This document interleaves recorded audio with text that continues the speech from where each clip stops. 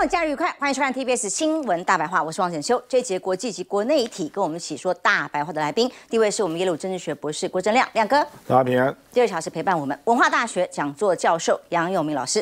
请就好，大家好。前空军副司令张延廷将军，主持人好，大家好。将军可能睡得比较好，因为您不在位置上。像现在国防部长邱国正可就睡不好，他是自己在立法院答询的时候说的哦。他说因为担心现在局势状况，晚上睡不好，还在立委答询的时候讲了这这件事情叫做第一线，所谓的第一级。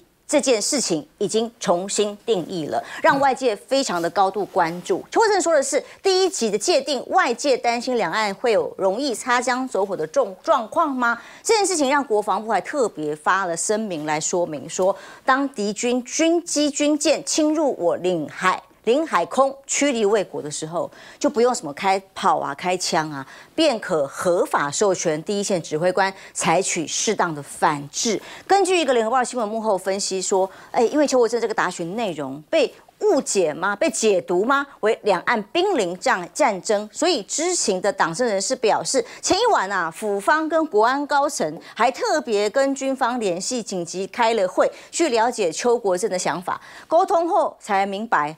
他们自己开会，然后再去打电话问哦，不是把他找来问哦，就说只是从军人的本分出发会有的担心，认为对两岸情势应料敌从宽，兢兢业业做好准备。显然，这个邱国正的忧心，总统府啊、国安单位高层是不明白的吗？那赵少康就问：两岸如果快开战这种情况，总统睡得好吗？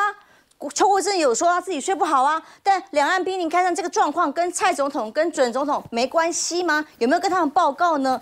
但总统睡得好，民众可能睡不好哦。花莲半夜有很多军机在飞，这个是来自于花莲的民众他所这个分享出来的消息。网友很着急问说：开战了吗？怎么那么多飞机半夜战机嗡嗡嗡的在飞？怎么回事？他说是在实施跨子夜实实战化的飞行训练。其实先前也有过这样的新闻的宣布，但跨子夜自然就会影响到晚上的当地民众比较安静的休息的状况，就会发现感觉有点危机感，是不是未来都会往这个方向来实施？是不知道，但近期的确会相对的敏感哦。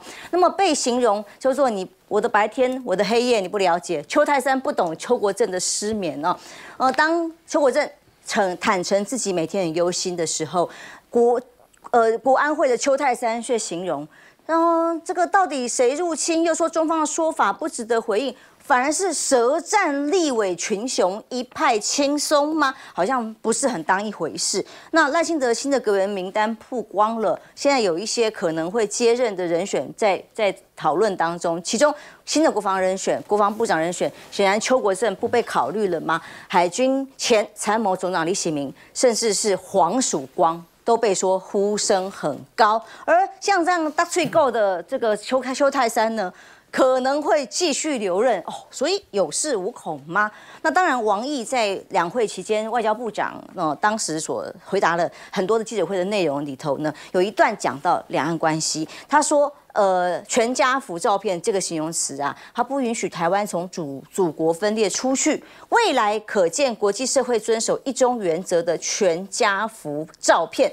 那当然，詹志宏就是这个陆委会的副主委啊，就痛批中国自欺欺人，让国际看笑话。如果他要去照那张相，全家福的相，那是不会成功的啦哦。那所以，当我们金厦海域现在还在所谓常态执法完全是被破坏的情况之下的话，大陆学者怎么形容？他说这。次翻覆事件，大陆宣布要在金厦水域展开常态化的执法行动。那么李义武就说，这个是落实大陆对台湾海湾海域的主权一样，双方已经吵到主权这个层次上了，所以他认为是延伸实际管控权的重要突破。甚至海峡两岸之间，在这水域上都可能出现新的治理形态。当然，有件事情在国际上，我们昨天也都一直表示很关注的是拜登的国情咨文啊。国情咨文在影响他自己选情的部分之外，谈了什么，我们也很关心。拜登谈到了他坚决维护台海和平稳定，这是拜登第一次在国情咨文里面谈到台海安全。那同时，美国的跨党派议员，当然抗中派还是现在鹰派很多啊，还特别讲。一旦中国对台动武的话，就要取消税收协议。这个是一个来自于两党的参议员共同提案，要求美国政府如果在总统判定中国对台海发动武装攻击之后，三十天之内取消对美中税收的协定。啊，然后呢？如果有没有别的，不知道啦。对我们来讲，听起来好像蛮遥远的。亮哥，总之有没有可能兵凶战危？哦，大家有不同的分析跟看法。那赵春山教授就觉得，就算有，他也不会意外。以他到大陆去访问期间感受到的氛围，您怎么看呢？我觉得这个金门渔船这个事件，这个我们国安高层就是蔡英文了啊，他们就把它定位为国安事件嘛，所以才会。才会，他这个国安事件，他当然有一些假定啊，他就假定这个充其量就是在金厦海域有一些冲突了，那不会外延为这个对台湾的攻击了，所以邱泰山显然是这个决策过程他是有参与的，那邱国正很可能就是没有，所以所以两个人的答复就会不一样。那至于会不会从金厦海域外延到台海？甚至超过台海中线到台海中线以东啊，甚至到澎湖啊，到台湾本岛啊。那坦白讲，这个就见仁见智啊。可是我认为蔡英文就是认为不会，所以他才这样赌啦。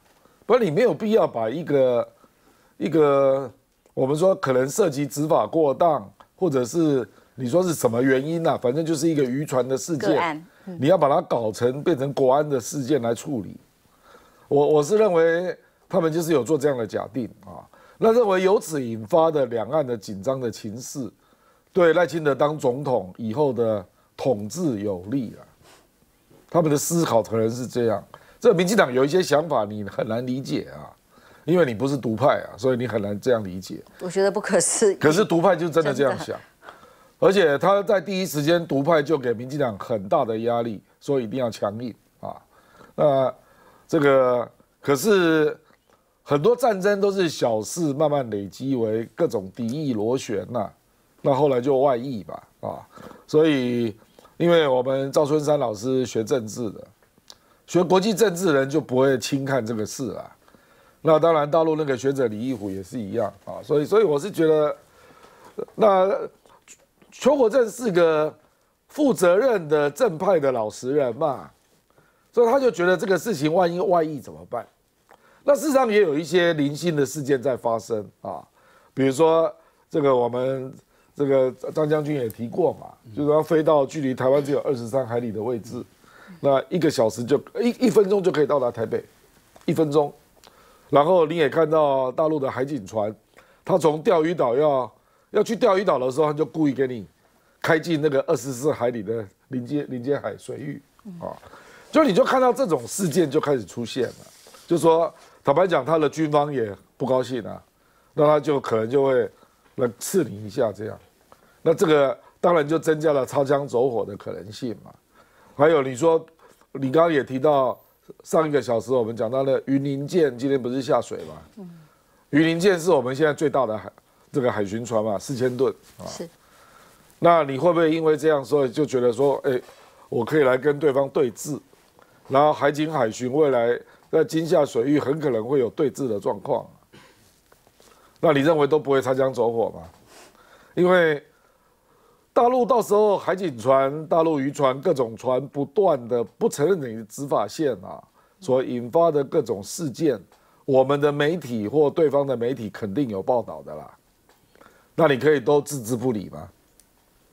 我觉得很难哎，因为大陆会报道。我们这边立委也会问政府啊，那你不觉得这样就是一种上升的螺旋吗？你都可以不处理，可以这样吗？所以，民进党会不会把这个事情想得太简单了？说啊，反正是金厦水域嘛，他来我就假装没看到，真的有可能这样吗？你可以都不做硬硬的处理吗？对不对？然后你认为你不处理，所以他就不会外溢到台湾海峡来？我觉得这种想法是不是太简单了啦？或者是他是有恃无恐，认为今年美国在选举，所以大陆大概不敢发动这个台海的冲突了。那可是十一月选完之后呢？嗯，选完之后你怎么办？那万一是川普当选呢？那从十一月到明年二月一号上任，这中间不是空窗期吗？那不是更危险？所以，所以我是觉得有一些啊，有一些地方，这个让人家难以理解。蔡英文、邱泰山、管碧林这些人怎么会有恃无恐到这种程度了？因为是不合理的挑衅，没有必要的挑衅，没有必要嘛。而且你明明就是弱的那一方，你为什么要让这个事件这样不断的上升？那只有一个逻辑啊，就是他认为抗中保台有助于他的统治啊。嗯，只有这个逻辑啊。事实上，我也看到有明兄有一篇文章嘛，也觉得民进党看起来是有恃无恐，尤其是今年呐啊，明年我们不敢讲，今年他就是有恃无恐。那大概认为赖清德的五二零就职演说也过不了关呐。嗯，那就用这样，那这样对于他内对内做大内宣呐，他可能觉得对他来讲统治有利，可是这个就是非常短视了。嗯。好，所以这次渔船翻覆事件，如果是按照国安单位给的建议跟定调定成这样子的这个路线的话，难怪他说他不了解为什么邱太邱国正会睡不着觉啊，还特别你看专案会议不找邱国正来，是电话来问他说你为什么会这么紧张啊？他们觉得不了解啊。对这个事情啊，其实我觉得民进党政府也在赌，在赌就是大陆针对这个惊吓撞船事件呢，他不不愿意。也不会去提高的这个冲突的层面，最多就在这个金夏水域，啊，那反正民进党丢掉了金门马祖，对他无伤。两会结束是这样吗？对啊，你丢掉了海域也好，你丢掉了岛也好，民进党其实很早以前就说要这个从金马撤军嘛，反正金门马祖是福建省，对不对？因此跟这个台独跟台湾建国其实要做切割的，哦，那如果说他的切割。还能够引起两岸之间的这种名义上的对立，那重演一九九四年的千岛湖事件，那不是也是刚好赌对了吗？哦，这个是一种真的蛮糟糕的一个，就是说可能性。